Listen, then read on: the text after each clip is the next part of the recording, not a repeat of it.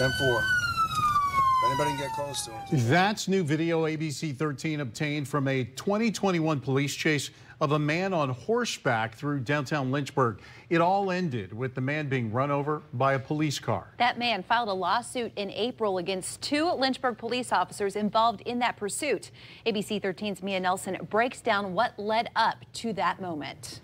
According to the lawsuit, the man on horseback, Steve Rucker, claims that officers Zachary Miller and Michael Johnson are responsible for gross negligence. Rucker also accuses Officer Miller of excessive force in violation of his Fourth and 14th Amendment rights and accuses him of battery. He is seeking more than $5 million in damages.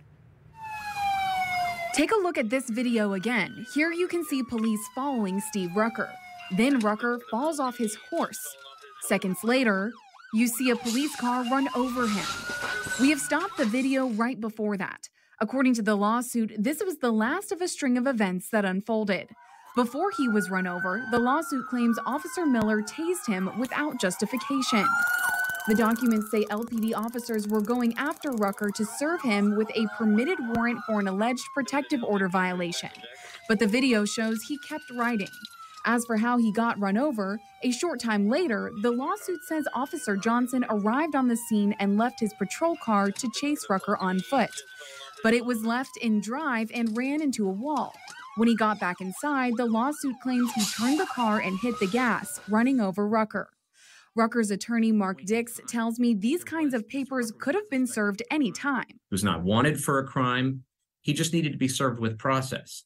And the level of response from the Lynchburg police officers on this evening was grossly disproportionate to the need to communicate and stop Mr. Rucker. The officer's attorney, Jim Guynn, was not available for an interview but did provide a statement. He said, in part, in short, we deny that our officers are liable to Mr. Rucker for any reason.